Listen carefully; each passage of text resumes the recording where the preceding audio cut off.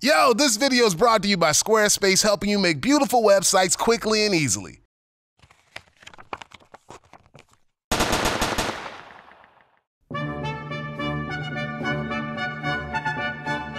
What's good, y'all? This week we shaking them haters off with the fountainhead by Ayn Rand. Howard Roark is the only bro in his architecture school who want to shake things up. Everybody else just a bunch of by-the-book hacks who think building design gotta rep tradition. But Roark don't flow with that mess. He got his own vision and don't give a damn what they think. Brother keep it so real that the school expels his ass, straight up. So he head to New York and start working for an architect named Henry Cameron. Even though Cameron's rep ain't so hot among the big dogs anymore, Howard think he's the trillest architect in the game.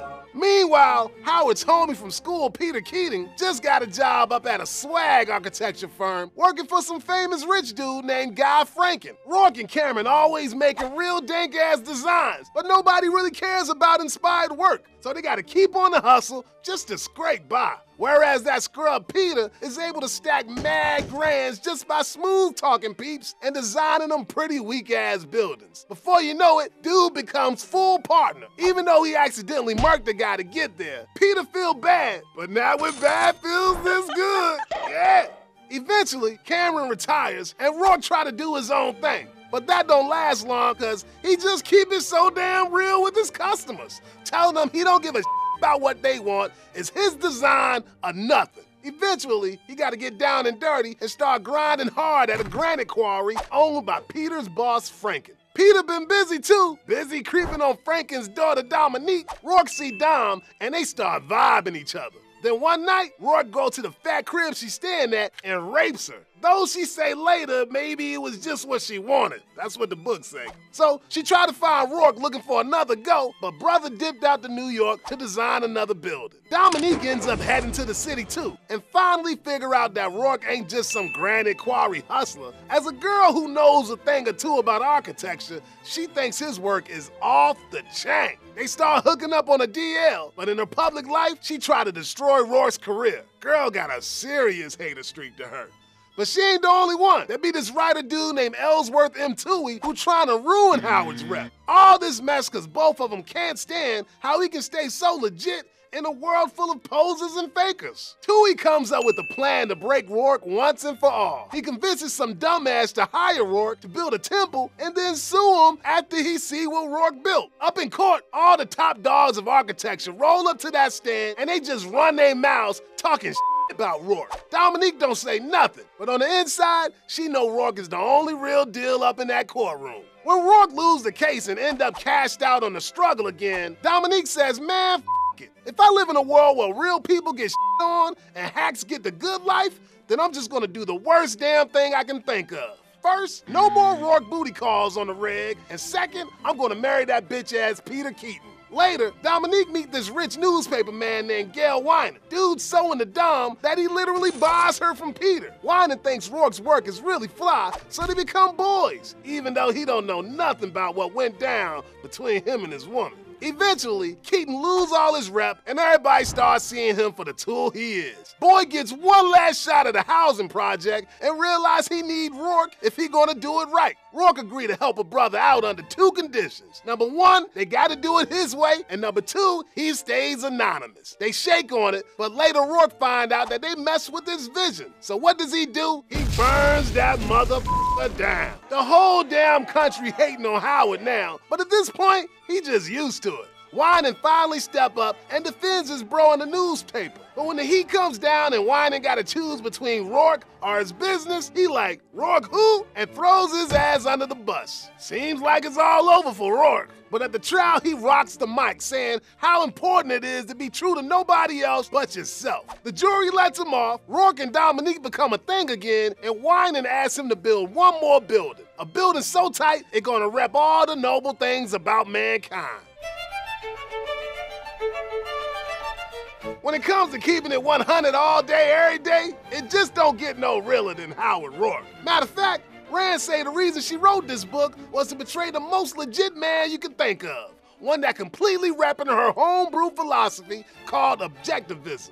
This is the motive and purpose of my writing, the projection of an ideal man, the betrayal of a moral ideal, as my ultimate literary goal, as an end in itself, to which any didactic, intellectual, or philosophical values contained in a novel are only the means. Objectivism preaching a couple things like logic, self-interest, capitalism, atheism, personal responsibility, and as far as reality go, what you see is what you get. So that's a tight philosophy and all. But what does this look like in the flesh? Well, first off, Roark go hard in the paint when it comes to his integrity. To this dude, keeping it real means dedicating your life to one idea and everything. What you think, what you do, all of it, gotta rep this idea. No matter how raw I get when the haters start hating. He don't budge an inch, cause sticking by that idea is what makes you you. Most people can't roll like Roark though. Every single day the world asks people to compromise their values. And most just let it slide, bit by bit, till ain't nothing left of their self. They die with every day that passes. When you meet them, they're not what you met last. In any given hour, they kill some part of themselves. They change, they deny, they contradict, and they call it growth. At the end, there's nothing left, nothing unreversed or unbetrayed. If being true to yourself is number one, then you can't be giving a shit about what everybody else think, like that boy Peter. People like him spend their whole lives worrying about how they look in other people's eyes. To them, it don't matter how things are,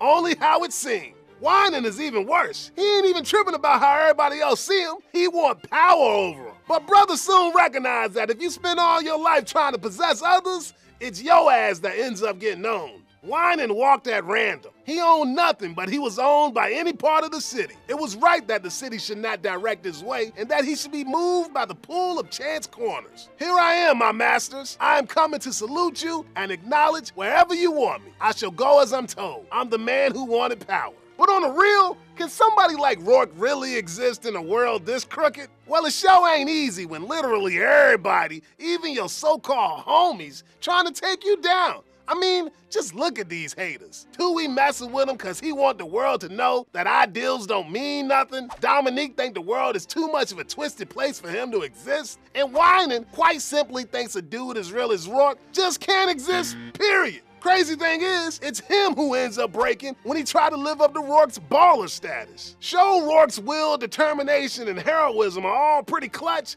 but that don't mean it's all good. There's plenty of jacked up shit about Rand's philosophy too. One of the worst things is the way Rand talks about pity. But this was pity. This complete awareness of a man without worth or hope, this sense of finality, of the not to be redeemed. There was shame in this feeling. His own shame that he should have to pronounce such judgment upon a man, that he should know an emotion which contained no shred of respect. This is pity, he thought, and then he lifted his head in wonder. He thought there must be something terribly wrong with the world in which this monstrous feeling is called a virtue. Look, I don't know what an ideal man would look like, but I sure as hell know he wouldn't say feeling sorry for others is bull, or that being generous to others is for bitches. No matter who you are, where you come from, somebody along the way has helped you get to where you are.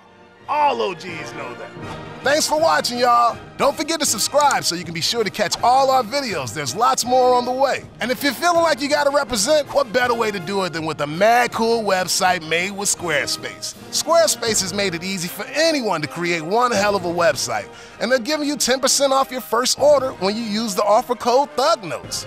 With some fine looking templates and easy to use tools, Squarespace has made it simple for you to create the website you want. And if that ain't enough, sign up today and you'll get a free 14 day trial to test it out yourself. Make sure to use the offer code THUGNOTES to get 10% off your order. Catch y'all next time, players. Peace.